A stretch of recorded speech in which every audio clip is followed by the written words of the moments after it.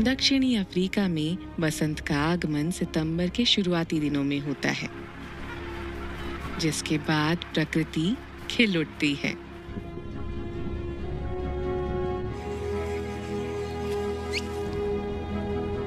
दिन लंबे होने लगते हैं, तापमान बढ़ने लगता है, और जानवर तथा पेड़ पौधे प्रजनन करने, जन्म देने और अपने बच्चों के पालन पोषण में जुट जाते हैं।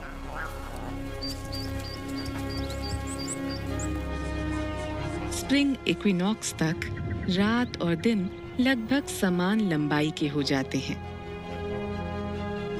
ऐसा साल में सिर्फ़ दो बार होता है, जब सूरज का केंद्र हमारी पृथ्वी के इक्वेटर के ठीक ऊपर आ जाता है और तब पूरे महाद्वीप में हलचल देखने को मिलती है।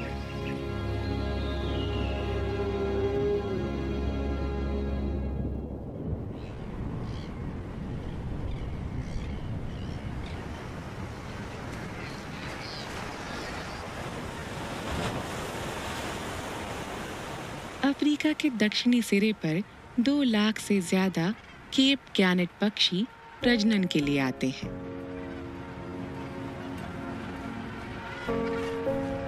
इन्होंने पिछले आठ महीने साउथ अटलांटिक ओशियन के किनारे से दूर बिताए हैं। अब वो साल के इन्हीं दिनों में उसी द्वीप पर आते हैं जहाँ वो पैदा हुए थे, ताकि वो भी अपने बच्चों को जन्म दे सके। ठीक इसी समय मौसम भी अच्छा होता है और समुंदर में खाना भी भरपूर मिलता है। कुछ नौजवान पहली बार एक चूजे को पालने की कोशिश करेंगे। साथी चुन लेने के बाद वो आमतौर पर जीवन भर का साथ निभाते हैं।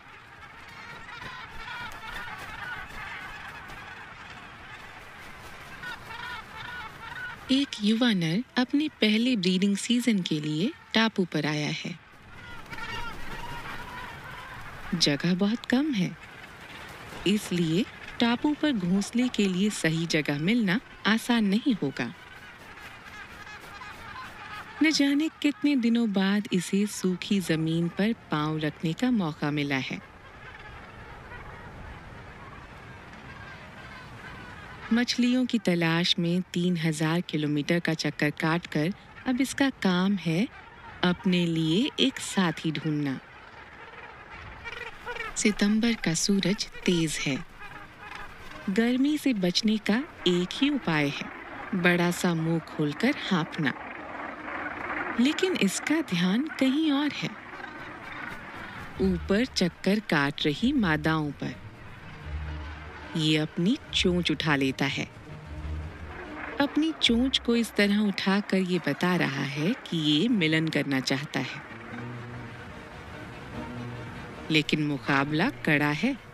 इस द्वीप पर इसके अलावा करीब पाँच हज़ार गैनेट नर हैं और सभी प्रजनन के लिए उत्सुक हैं। ऊपर मादाएँ द्वीप के चारों ओर चक्कर लगा रही हैं। वो घोंसले की सबसे अच्छी जगह और उस पर खड़े नरों की तलाश में है। इसकी तलाश भी जारी है। सारा खेल सब्र का है।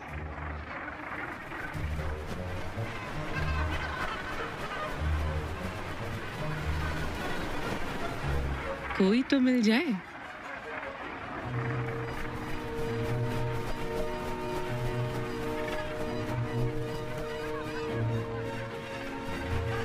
शायद उम्मीद की कोई गुंजाइश है।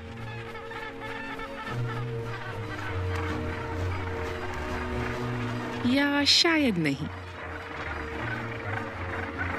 लगे रहो, गैनेट भाई।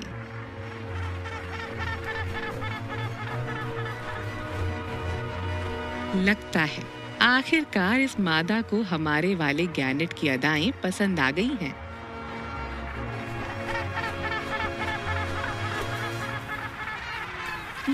प्यार भरी लैंडिंग करती है और आसमान की तरफ़ चोंच उठाकर हाँ कहती है।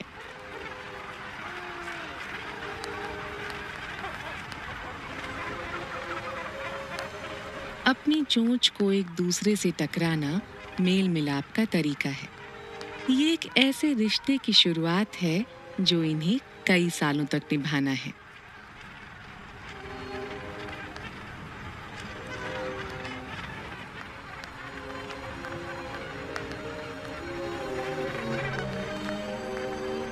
जब भी ये बिछड़ने के बाद दोबारा मिलेंगे, हर बार यही रस्म निभाएँगे।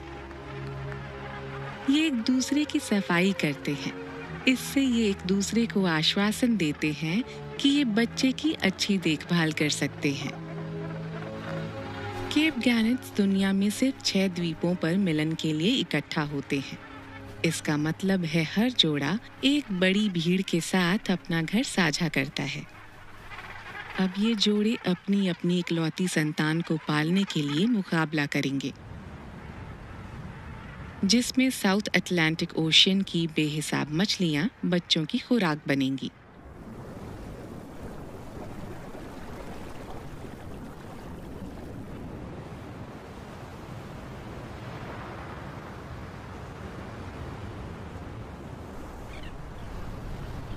ये नमीबिया के पश्चिमी तट पर दोपहर का समय है, जहाँ लाखों केप पर सील्स रेत के तीन किलोमीटर के किनारे पर आराम कर रही है।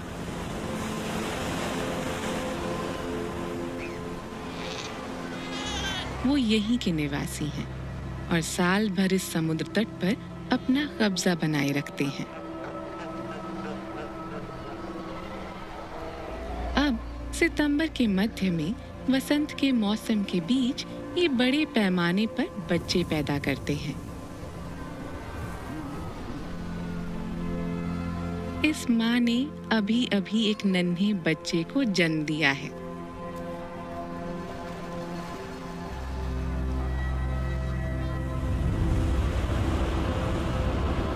एक तरफ़ खतरनाक अटलांटिक महासागर तो दूसरी तरफ़ है विशाल नामीब रेगिस्तान।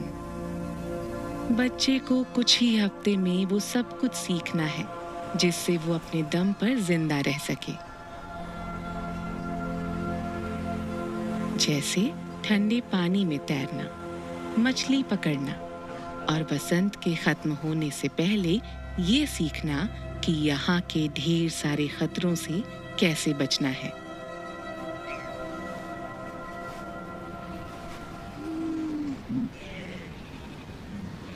ये बात कि यहाँ ढेर सारे बच्चों ने जन्म लिया है। बाहर वालों को पता चल चुकी है। ब्लैक बैक जैकल्स और ब्राउन हाइनास रेगिस्तान से निकल आए हैं। वो नए सील बच्चे के शोर और गंध से आकर्षित हुए हैं।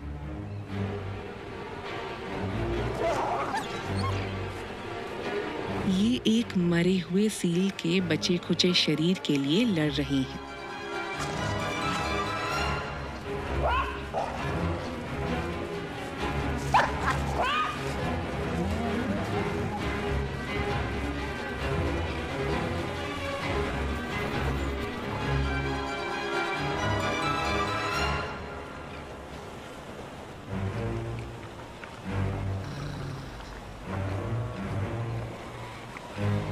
आखिर तीन सियारों ने लड़ाई छोड़कर एक साथ खाने का मज़ा उठाना ठीक समझा।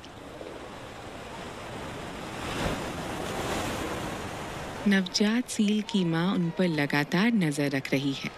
अगर बच्चे को बड़ा होने तक ज़िंदा रखना है तो उसे ऐसे कई खतरों से बचाना होगा। पृथ्वी की झुकी हुई एक्सेस सदर्न हेमिस्फेयर को सूरज के नज़दीक ले जाती है और अफ्रीका में वसंत ऋतु आती है। जबकि पृथ्वी का नॉर्दर्न हेमिस्फेयर सूरज से थोड़ा दूर हो जाता है, जिससे वहाँ ठंडे दिन शुरू होते हैं, यानी पतझड़।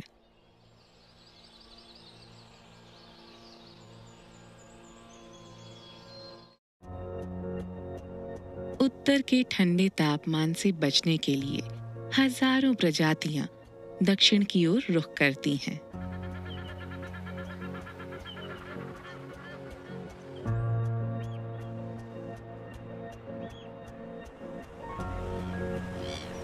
सितंबर और अक्टूबर में लाखों पक्षी दक्षिणी अफ्रीका पहुँचते हैं। जहाँ वो मौसम के बदलने तक रहते हैं।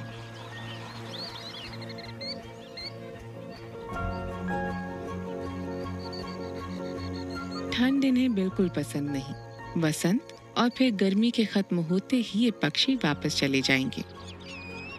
ये साल भर मौसमों का पीछा करते हुए दुनिया घूमते हैं और अलग अलग महाद्वीपों में गुजर बसर करते हैं।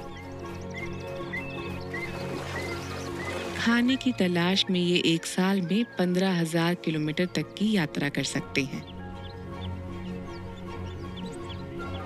लेकिन फ़िलहाल वो दक्षिणी अफ्रीका के उपजाऊ लेक्स और वेटलैंड्स की तरफ़ खींचे चले आए हैं। साउथ अफ्रीका का लैंगाबून लगून प्रवासी पक्षियों के लिए मानो एक चुंबक है। अफ्रीका के पश्चिमी तट से टकराता हुआ समुद्र का पानी हर रोज खारे पानी के वेटलैंड्स में पोषण भरता रहता है, जिसकी वजह से यहाँ शिकार की भरमार हो जाती है, जैसे केकड़े, घोंगे और छोटी मछलियाँ। वसंत के गर्म तापमान के साथ इनकी आबादी तेज़ी से बढ़ती है। कुदरत ने उथले पानी में पक्षियों के लिए ढेर सारे खाने का इंतज़ाम किया है। स्थानीय पशु पक्षी भी उन लाखों जीवों का भोजन करने के लिए शामिल हो जाते हैं, जो अब लगून में अंडे दे रही हैं। उनकी चोंच की भिन्नता की वजह से पक्षियों की कई प्रजातियाँ एक साथ भोजन कर सकती हैं। Flamingo, curlew, ibis sandpiper avocet knot और कई तरह की बतके ये सभी शिकारी पक्षी अलग अलग प्रजातियों को खाते हैं। फ्लेमिंगोस कम गहराई से छोटे श्रिम्स और एल्गी छानते हैं। जबकि सैंड पाइपर्स अपनी लंबी चोंच से मिट्टी में से केकड़े और घोंगे निकाल लेते हैं।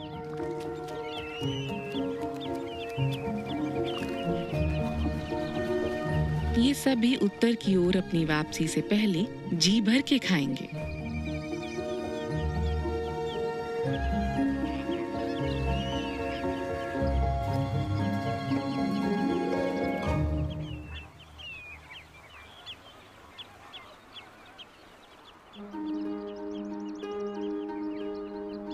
पूरे दक्षिणी अफ्रीका में बसंत आ चुका है और अक्टूबर के मध्य तक सब कुछ खिल सा जाता है।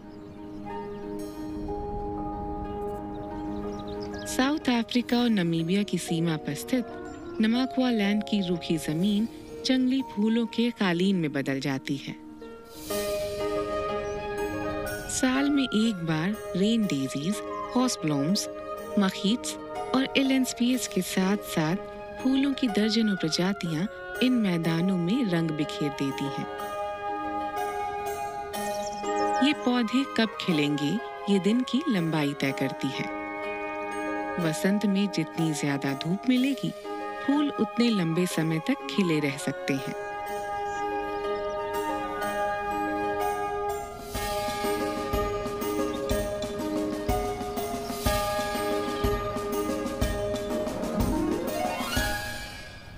लेकिन ये चकाचौंध सिर्फ़ खूबसूरती के लिए नहीं है। सभी ज़िंदा चीज़ों की तरह पौधों को भी अपना वंश आगे बढ़ाना पड़ता है। हर पौधे में नर और मादा हिस्से होते हैं।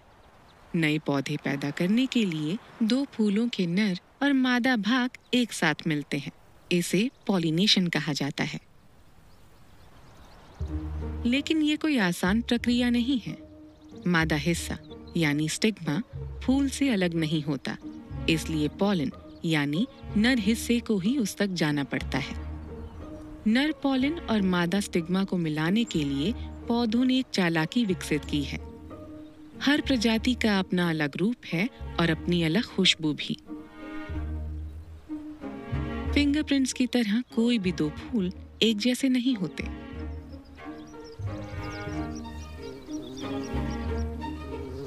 पॉलन को दूसरे फूल के स्टिग्मा तक पहुँचाने के लिए पौधों को एक कुरियर सर्विस की ज़रूरत पड़ती है। फूलों के रंग और उनकी खुशबू से पक्षी और उड़ने वाले कीड़े उनकी तरफ़ आकर्षित हो जाते हैं।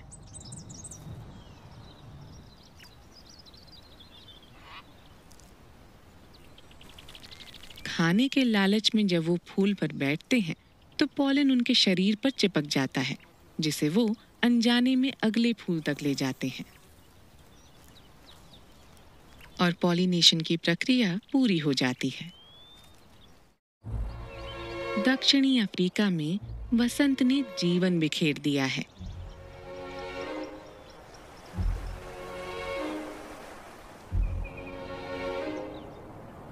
सबसे ऊँचे पहाड़ों से लेकर सबसे गहरे महासागरों तक।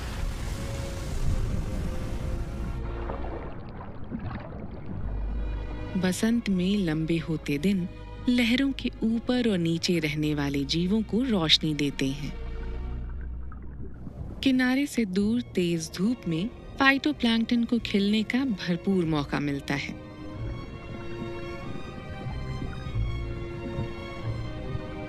ये माइक्रोस्कोपिक पौधे सूर्य की किरणों को खुराक में बदलने के लिए क्लोरोफिल का इस्तेमाल करते हैं।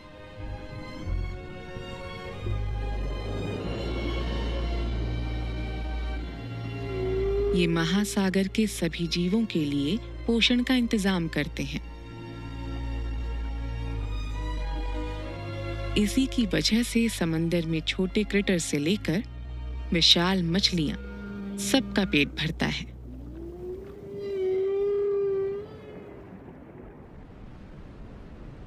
ये नाइजना लगून में नवंबर का महीना है और जब तेज धूप समुद्र के तापमान को बढ़ाती है तब वसंत की सबसे चमत्कारी घटनाओं में से एक घटती है।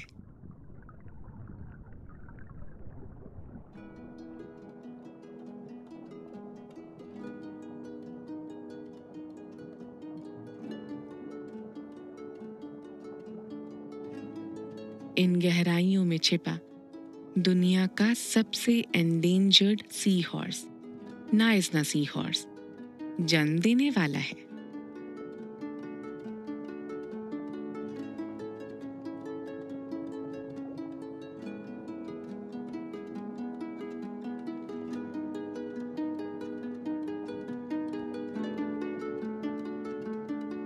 इस प्रजाति में ये ज़िम्मेदारी पुरुष निभाते हैं।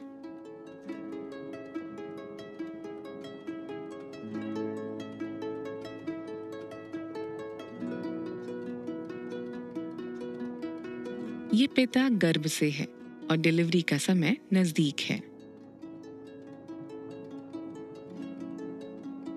तीन हफ़्ते पहले मादा ने अपने अंडे इसकी थैली में दिए थे। इस उम्मीद में कि वो इनका वंश आगे बढ़ाएँगे। इसने तब से उन्हें संभाल कर रखा है।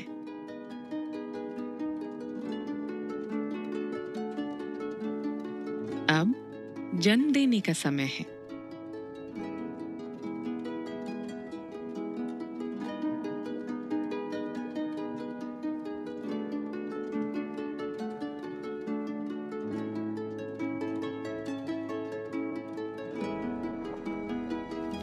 कुछ देर से लेबर में था और अब वो चमत्कार होने को है।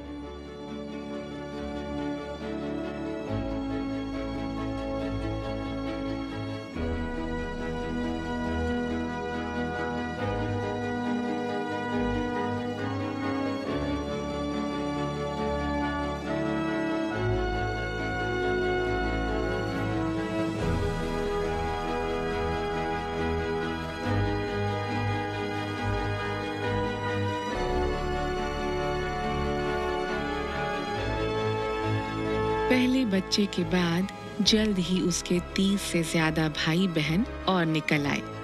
ये सभी इस प्रजाति को फिर से आबाद करने में अहम भूमिका निभाएँगे। लगभग एक सेंटीमीटर के ये छोटे बच्चे अपने नए घर से चिपके रहने के लिए अपनी पूंछ का इस्तेमाल करते हैं। उनके पिता का काम हो गया है। नवजात सी हॉर्स बच्चों को अब अपना रखरखाव खुद करना होगा। ये एक नाजुक दौर है, लेकिन ज़िंदा बचने वाला हर बच्चा इस प्रजाति के भविष्य के लिए उम्मीद की किरण साबित होगा। नवंबर के मध्य में गैनेट कॉलोनी में जो पक्षी जल्दी आ गए थे, उनके पास पहले से ही पालने के लिए चूजे हैं। कुछ दूसरे माता पिता अपने अंडों में से बच्चे निकलने का इंतज़ार कर रहे हैं। एक सेंटीमीटर जितनी ज़मीन भी नहीं बची है। जोड़े दिन भर अपने घोंसले की रखवाली करते हैं। और रात में भी।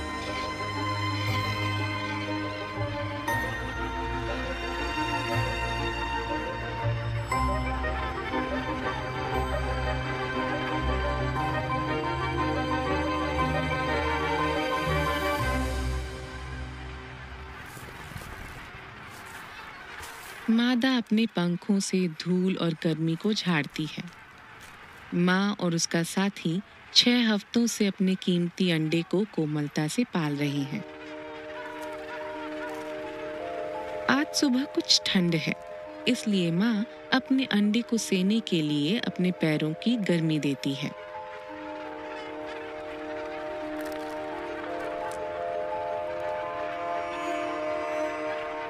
इनकी मेहनत रंग लाने वाली है।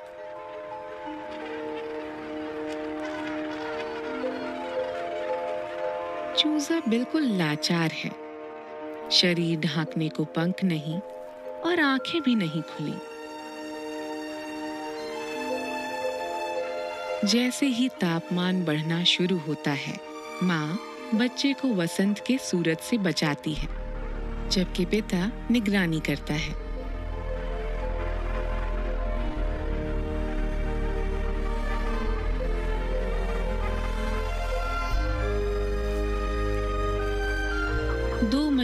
तक ये हमेशा साथ ही रहे हैं। ये हैं दो, लेकिन इन्होंने अपना काम एक होकर किया है। पहले बहत्तर घंटों के लिए इनका एकमात्र काम है, अपने बच्चे की रक्षा करना और ठंडी रातों के दौरान उसे गर्म रखना। तब तक माँ इसे बिल्कुल खाना नहीं खिलाएगी।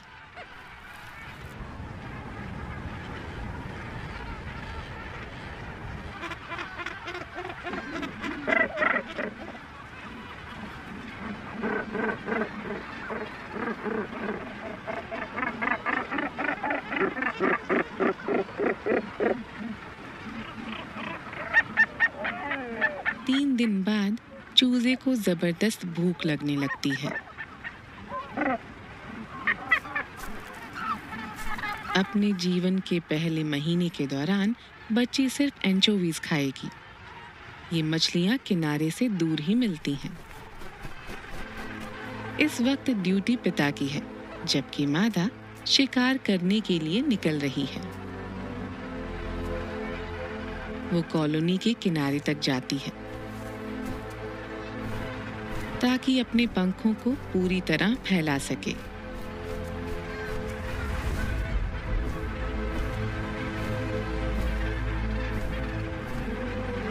इसके हाथ में ज़्यादा समय नहीं है।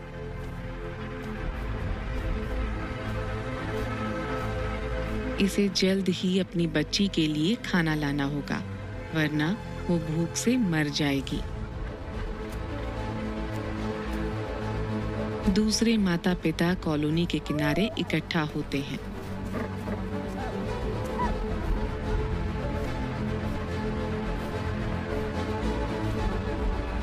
और सभी के चूजे भूखे हैं।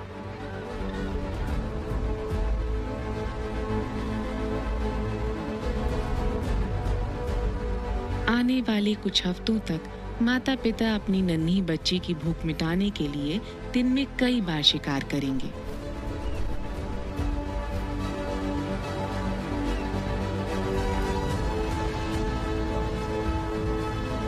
समुद्र में माँ मछली ढूंढ रही है। किनारे से कुछ दूर ढेर सारी मछलियाँ दिखाई दी हैं। यहाँ मछली पकड़ने वालों का ताता लगा है।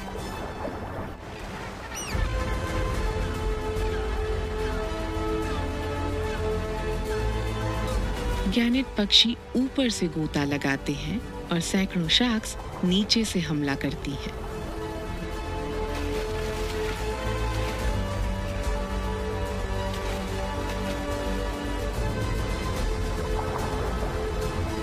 एंचोवीज के पास बचने का कोई मौका नहीं है।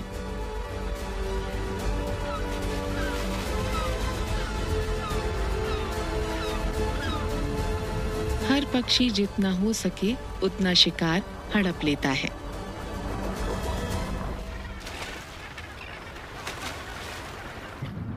कुछ ही मिनटों में ज़्यादातर मछलियाँ पकड़ी जा चुकी हैं। बचे हुए शिकार को खत्म करने का जिम्मा ट्यूना मछली का है।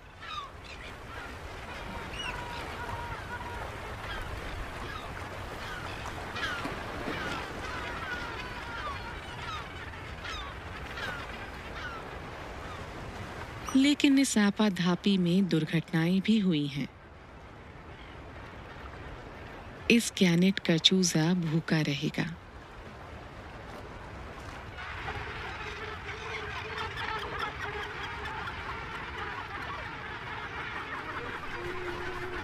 लेकिन इस नई माँ के लिए ये मुहिम सफल रही है।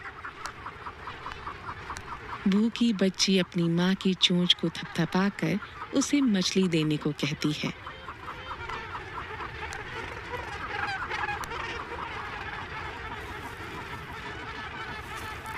वो अपने चूजे को खिलाने के लिए अपने पेट में से खाना बाहर निकालती है।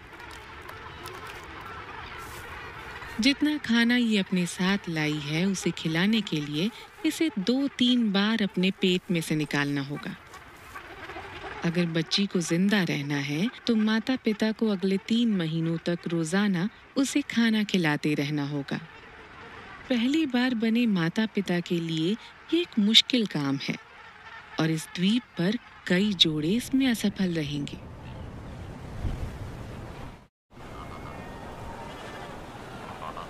नवंबर के अंत तक केव फर सील्स के बच्चे बड़े होने लगे हैं। ये बच्चा अब आठ हफ्तों से अपनी माँ का पौष्टिक दूध पी रहा है।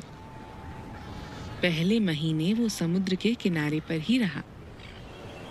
लेकिन सील्स ज़मीन पर जीने के लिए पैदा नहीं होते।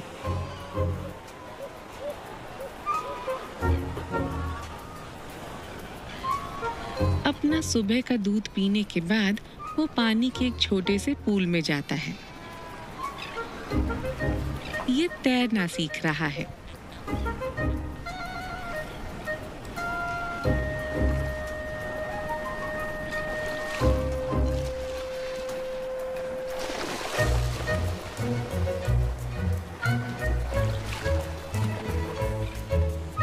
इसे जल्द ही एहसास हो जाता है कि ये कितना मज़ेदार काम है। समुद्र के खतरों से दूर, ये बच्चा दूसरों के साथ मज़े से खेलता है।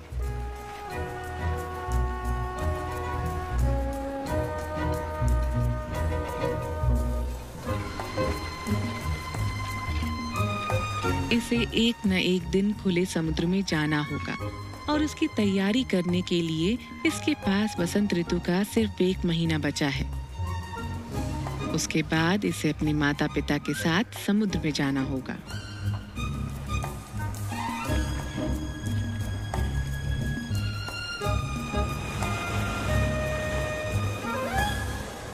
वसंत लापरवाही का मौसम है और पूरे अफ्रीका में युवा जानवर अपने इलाकों को समझने में लगे हैं।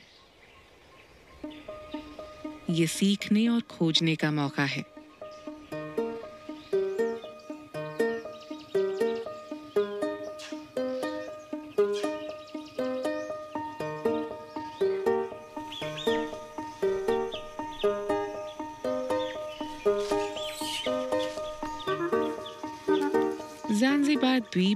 द्वीप जो जानी फॉरेस्ट में कुछ घंटे पहले सुबह हुई थी कोलबस मंकी के ये बच्चे आठ हफ़्ते के हैं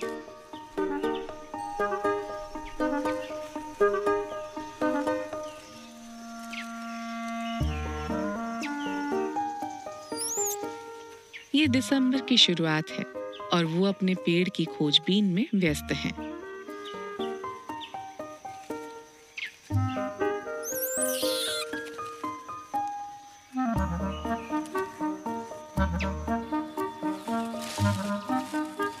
की सबसे ऊँची शाखाओं से उनके झुंड के बड़े सदस्य झूल रहे हैं। शाखाओं को स्प्रिंग की तरह इस्तेमाल किया जा रहा है।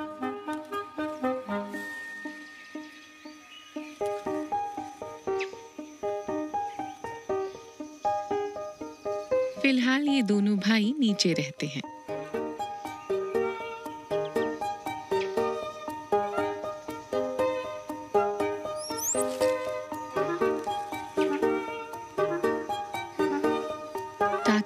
ढीली पकड़ छूट भी जाए तो ज़्यादा चोट ना लगे साथ ही माँ की पूंछ आसपास ही रहती है, ताकि वो तुरंत लपक कर ऊपर चढ़ जाएँ।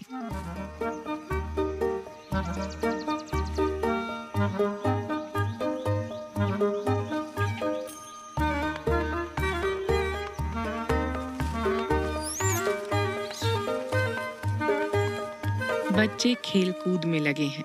इन्हें तो पता भी नहीं कि ये खतरा इनके करीब आ रहा है। इन पेड़ों पर एक ग्रीन मांबा नज़र आना लगभग नामुमकिन है। इसके काटने से मौत भी हो सकती है।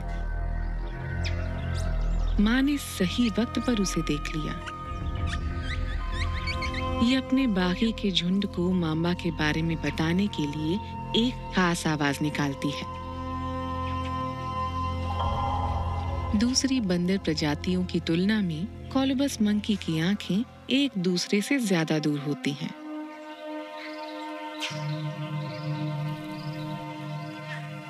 इससे इन्हें चीज़ों की नजदीकी और दूरी का बेहतर अंदाज़ा मिलता है और सांप आसानी से नज़र आ जाते हैं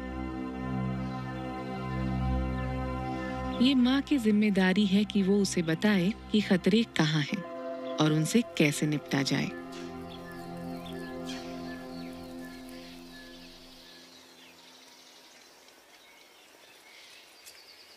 इसे अपने आसपास के ढेर सारे जीव जंतुओं को पहचानना होगा।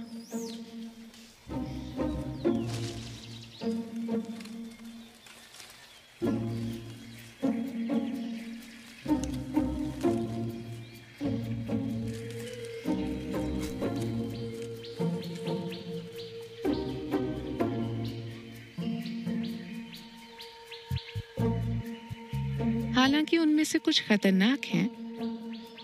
लेकिन ज़्यादातर जीव इसे नुकसान नहीं पहुंचाएँगे।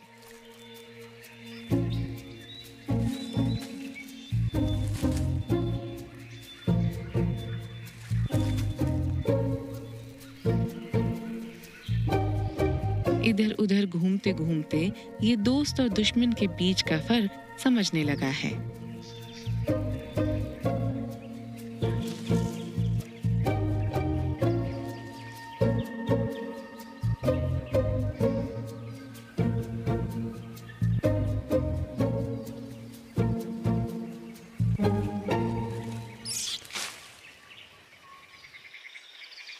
ये तो इसके सीखने की सिर्फ़ शुरुआत है।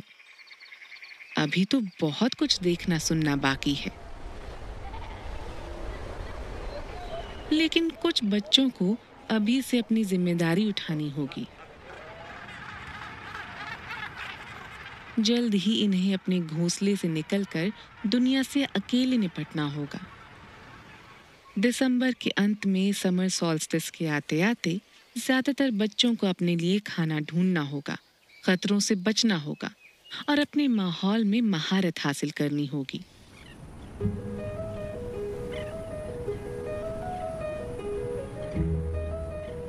अपने पैरों पर खड़े होने के लिए हर प्रजाति के पास अपना अनोखा तरीका है। अब दिसंबर है, वसंत अब गर्मियों में बदल रहा है, तापमान बढ़ना शुरू हो गया है। ये साउथ अफ्रीका के सैनफील्ड रेगिस्तान में दोपहर का समय है और तापमान 30 डिग्री से ज़्यादा है।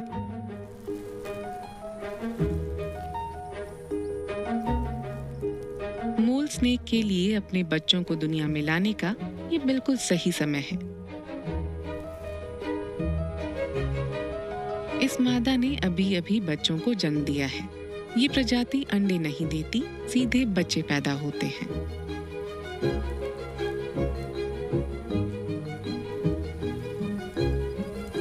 स्नेक्स ठंडे खून वाले जीव हैं। जब तक ये अपने शरीर को धूप में गर्म नहीं कर लेते, तब तक हिल भी नहीं सकते।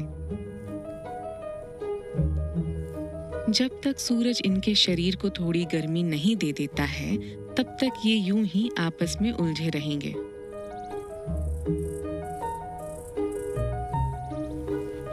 ठंडे और छोटे दिनों के मुकाबले, गर्म और लंबे दिनों में इनके बचने के आसार ज़्यादा हैं।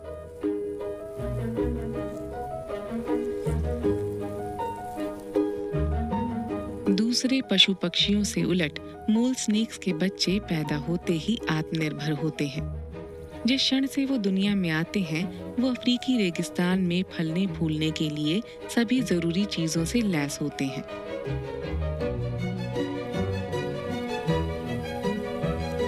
गर्माहट मिलने के बाद वो अलग अलग दिशाओं में निकल पड़ते हैं। ये शायद एक दूसरे से दोबारा कभी न मिलें।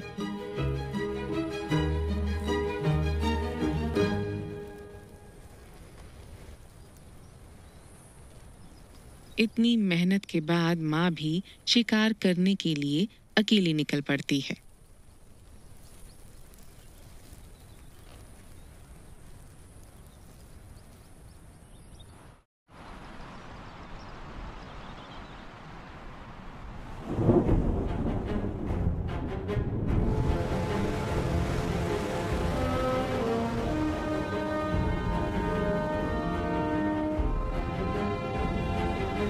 बसंत का मौसम खत्म होने को है, लेकिन गर्मियों के आने से पहले कुछ बड़ा होने वाला है।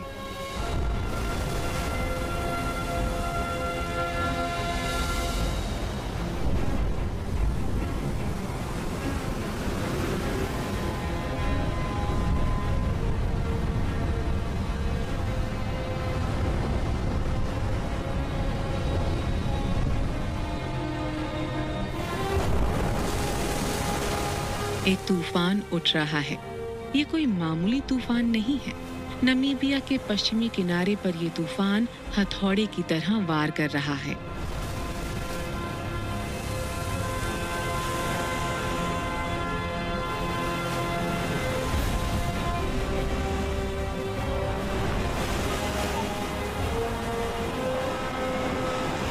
सील्स का ठिकाना अब सुरक्षित नहीं है। समुद्र की चपेट में आने वाले केव पर के ये बच्चे इन खतरनाक हालात के लिए बिल्कुल भी तैयार नहीं थे। जो अभी तैरना सीख ही रहे थे, उनके लिए ये तूफ़ान तबाही बनकर आया है।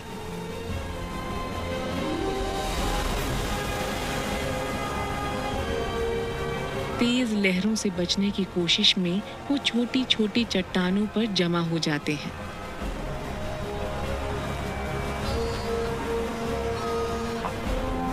लेकिन लहरें बार बार उन्हें वापस पानी में बहा ले जाती हैं।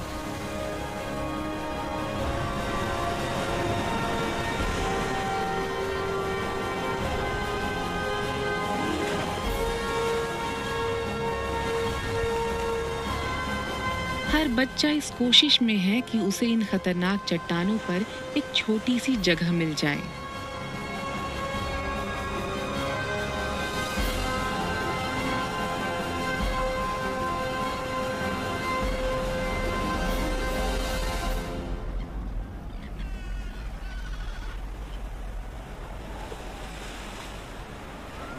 कुछ देर बाद लहरें शांत हो जाती हैं और थके, हारे, डरे हुए बच्चे एक दूसरे से चिपक जाते हैं।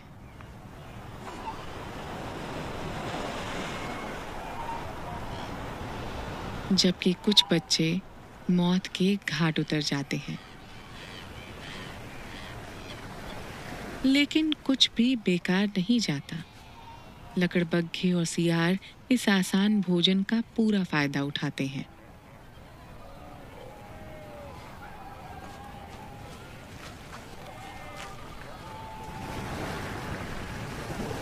जो बच गए, वो बड़े होने के अपने सफ़र में एक पायदान ऊपर उठ चुके हैं।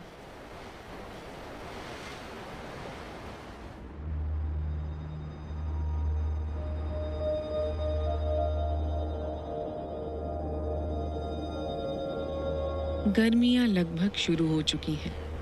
पूरे महाद्वीप में बच्चे आत्मनिर्भर बनने की तैयारी कर रहे हैं।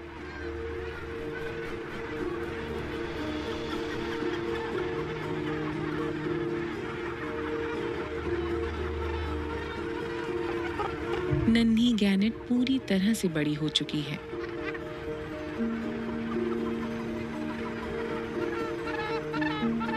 वो स्वस्थ है। और अपने दम पर ज़िंदा रहने के काबिल है। बस एक चीज़ सीखना बाकी है। उड़ना। इसके पंखों को वाटरप्रूफ करने के लिए माँ अपनी चोंच से उन्हें रोएदार बनाती है। इस बार की बसंत ऋतु मुश्किल थी, लेकिन इन्होंने अपना पहला चूजा पाला। जल्द ही टापू छोड़कर वो समंदर में खाने के लिए जाएँगे। एक साल बाद वो एक और चूजा पैदा करने के लिए दोबारा मिलेंगे।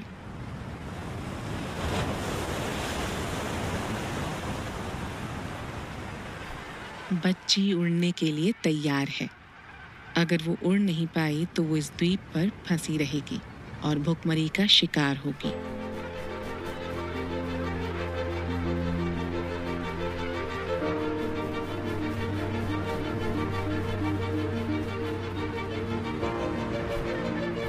दूसरे गैनेट्स की नकल करके शुरुआत करती है।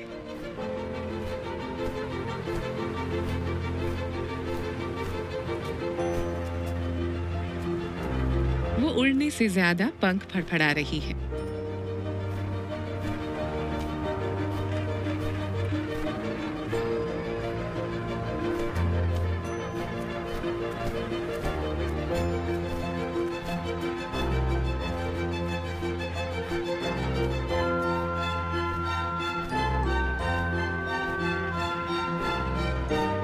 लगी रहो नन्ही गैनेट।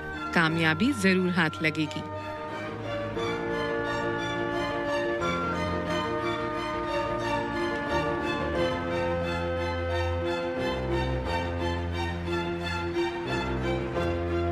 कुछ कदम आगे बढ़ाते हुए।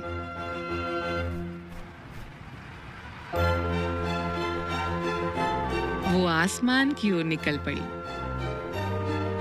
वो तैयार है।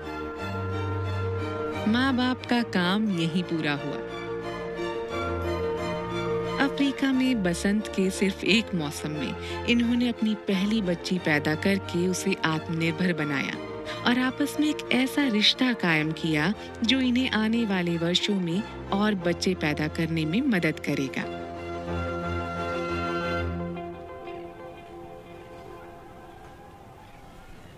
इस युवा सील को भी वैसी ही चुनौती का सामना करना है। ज़मीन पर तीन महीने बिताने के बाद अब समय आ गया है कि वो अपने माता पिता के साथ खुले समुद्र में खाना खाने के लिए निकले। तूफ़ान ने कॉलोनी को हिलाकर रख दिया है। लेकिन आज शांति है और वो आसपास घूमना चाहता है। वो अपनी माँ के साथ पानी में उतरा है। वो इसे उन रास्तों से ले जाती है जहाँ इसे शिकार करना होगा। अपने लिए साथी ढूंढना होगा और अपना जीवन जीना होगा।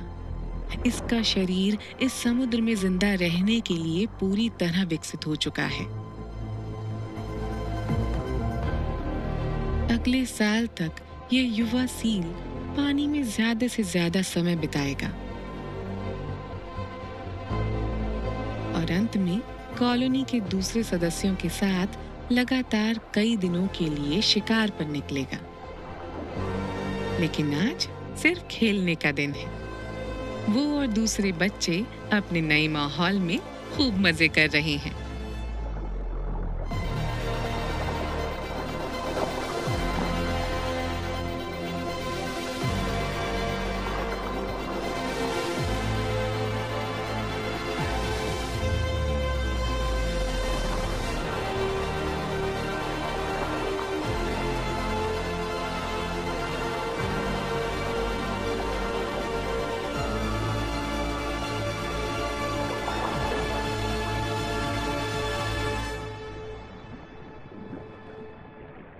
वसंत के जाते जाते अफ्रीका के नए सदस्यों ने आज़ादी का स्वाद चख लिया है।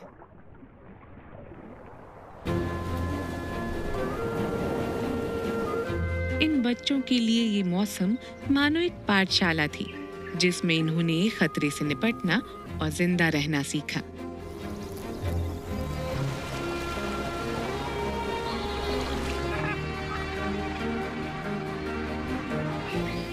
जो बच्चे इस पाठशाला से पास होकर निकले हैं, उनके लिए अब वक्त है दुनिया देखने का।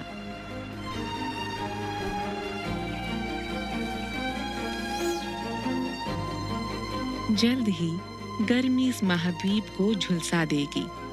झीलों और नदियों को सुखाकर शिकार और शिकारियों को करीब लाएगी।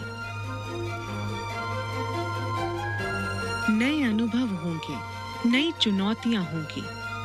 अफ्रीकाज वाइल्ड डियर के अगले एपिसोड्स में।